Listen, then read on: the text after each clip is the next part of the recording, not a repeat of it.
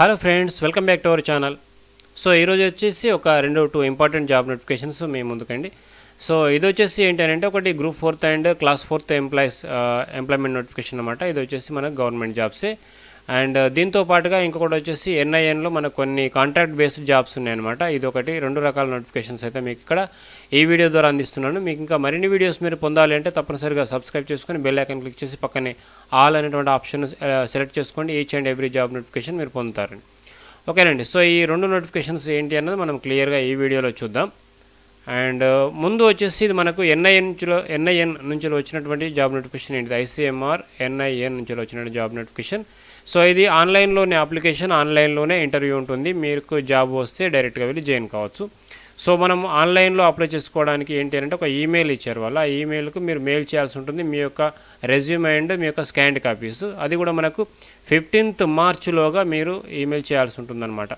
Okay అండి? తర్వాత వాళ్ళకి ఇన్ఫర్మ్ మీకు ఇన్ఫర్మేషన్ వస్తుంది. ఎప్పుడు ఇంటర్వ్యూ ఉంటుందో అవన్నీ కూడా చెప్తారనమాట ఓకేనండి సో దీంట్లో వచ్చేసి మనకి ఏం పోస్ట్ ఉన్నాయో ఒకసారి చూసినట్లయితే. సో ఇందులో వచ్చేసి ఏంటంటే టెన్త్ స్టాండర్డ్ నుండి ఇంకా హయ్యర్ మనకు ఎంబీబీఎస్ స్థాయి వరకు కూడా పోస్టులు అయితే ఉన్నాయన్నమాట. సో అవి ఏంటి ఒకసారి చూద్దాం. సో ఇది వచ్చేసి మనకు ఏదైతే హైదరాబాద్ హెడ్ ఆఫీస్ ఉంటుంది బట్ వర్కింగ్ ప్లేస్ కొంత కొంత వేరియేషన్ ఉన్నది అది ఒకసారి చూద్దాం. ఇక్కడ వర్కింగ్ ప్లేస్ ఎక్కడ ఉంది అవన్నీ కూడా మీకు ఇక్కడ ఇచ్చారు. ఫస్ట్ అయితే మనకు పోస్ట్ నేమ్ వచ్చేసి సైంటిస్ట్ సి మెడికల్ అని చెప్పేసి ఇవ్వడం జరిగింది. దీనికి post graduate MD or MS or DNB pass అయి ఉండాలి ఆఫ్టర్ ఎంబీబీఎస్ తర్వాత వన్ ఇయర్ది. టూ ఇయర్స్ ఎక్స్పీరియన్స్ ఉన్న వాళ్ళకి ఎలిజిబిలిటీ ఉంటుందన్నమాట. ఆ ఎక్స్పీరియన్స్ కూడా ఎపిడెమాలజీ అని చెప్పేసి ఇక్కడ మనకు కనిపిస్తుంది కదా డెమోగ్రాఫికల్ డిసీజ్. ఓకే? సో ఇది ఈ ఎక్స్పీరియన్స్ ఉన్న వాళ్ళు అప్లై చేసుకోవచ్చు. డెబ్బై ఐదు వేలు ఇస్తారు పర్ మంత్ వచ్చేసి. అండ్ వన్ ఇయర్ ఉంటుంది ఇది. అండ్ చిత్తూరు డిస్టిక్ ఏపీలో చేయాల్సి ఉంటుందన్నమాట. రెండోది వచ్చేసి మనకు అడ్మినిస్ట్రేషన్ అసిస్టెంట్ అని చెప్పేసి సో ఇది ఒక అన్రిజర్వ్ కేటాయించడం జరిగింది గ్రాడ్యుయేషన్ ఉండాలి. And five years experience accounts or administration administrative areas అనమాట సో అది అదేవిధంగా టైపింగ్ అండ్ కంప్యూటర్ సంబంధించినటువంటి కోర్స్ కంప్లీట్ చేసి ఉండాలని చెప్పి చెప్పడం జరుగుతుందన్నమాట.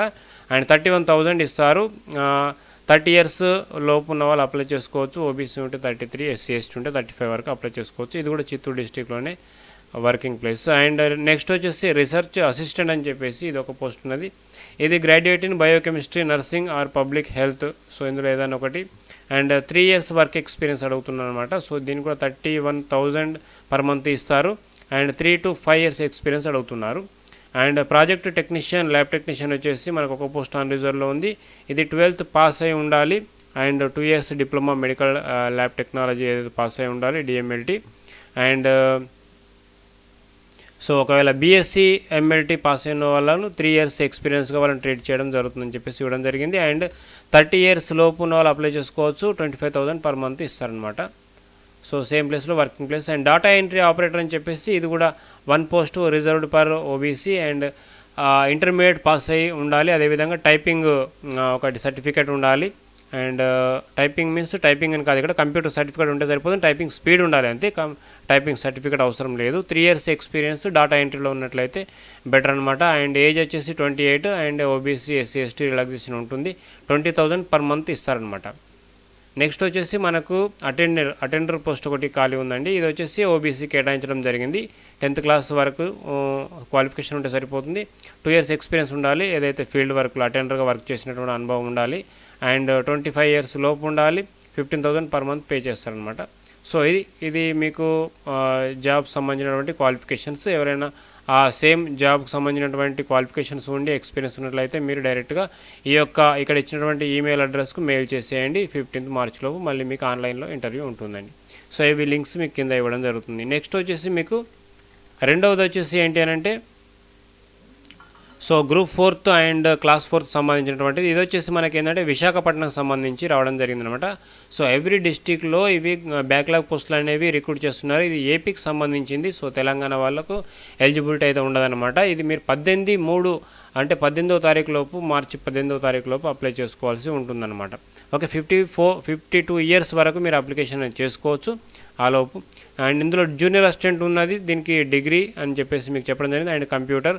సో ఇక్కడ అందుళ్ళు బదిరుళ్ళు అదేవిధంగా ఆర్థోపెటికల్లీ హ్యాండిక్యాప్డ్ ఇక్కడ మనకు కనిపిస్తుంది కదా. సో ఏ వింగ్ వాల్ ఏ దీనికి సంబంధించినటువంటి వాళ్ళు దానికి అప్లై చేసుకోవాల్సి ఉంటుందన్నమాట. And lab technician grade two ఇది కూడా మనకి ఇక్కడ కనిపిస్తుంది ఒకటి. ఇది బదిరిలోకి ఉన్నది. అండ్ డిఎంఎల్టీ పాస్ అయి ఉండాలి. మల్టీ పర్పస్ హెల్త్ అసిస్టెంట్ ఫీమేల్కి సంబంధించింది. మూడు ఇక్కడ ఖాళీలు అయితే ఉన్నాయి. సో ఇది కూడా మల్టీపర్పస్ హెల్త్ అసిస్టెంట్ కోర్స్ పూర్తి చేసి ఉండాలి. వర్క్ ఇన్స్పెక్టర్ పదవ తరగతి పాస్ అయి ఉండి ఐటీఐ పాస్ అయి ఉండాలి. తర్వాత షరాఫ్ వచ్చేసి ఇది ఒకటి పదవ తరగతి పాస్ అయి ఉండాలని చెప్పేసి చెప్పడం జరుగుతుందన్నమాట. నెక్స్ట్ వచ్చేసి మనకి ఇంకా ఆఫీస్ సబార్డినేట్ ఏదైతే ఆఫీస్ సబార్డినేట్ మీన్స్ మనకు అటెండర్ అనమాట ఏడవ తరగతి పాస్ అయి ఉంటే సరిపోతుంది. స్వీపర్ కూడా అంతే ఐదవ తరగతి పాస్ అయి ఉంటే సరిపోతుంది. ఫిట్టర్ హెల్పర్ పిహెచ్ ఇవన్నీ కూడా మనకు జస్ట్ తెలుగు రాయడం చదవడం వచ్చి ఉంటే మీరు డైరెక్ట్గా అప్లై చేసుకోవచ్చు అనమాట ఆఫీస్ సబార్డినేట్ ఇక్కడ మనకు కనిపిస్తుంది. ఏడవ తరగతి మాత్రమే ఉంటుందన్నమాట. సో తర్వాత కుక్ వచ్చేసి ఇది కూడా తెలుగు చదవడం రాయడం వస్తే సరిపోతుంది. సో ఇట్లా మనకు కొన్ని పోస్టులు అయితే ఉన్నాయి. విశాఖపట్నం వాళ్ళు అయితే సో ఇది వికలాంగులకు సంబంధించి కావచ్చు వికలాంగులకు సంబంధించినటువంటిది కాబట్టి. సో తప్పనిసరిగా ఉంటే మాత్రం ఎలిజిబిలిటీ ఉంటే అప్లై చేసుకోండి. ఎందుకంటే మంచి అవకాశం ఇది. అండ్ పర్మనెంట్ జాబ్స్ కాబట్టి సో అప్లై చేసుకోండి. సో ఇది అనమాట దీనికి సంబంధించి ఇన్ఫర్మేషన్ మీకు.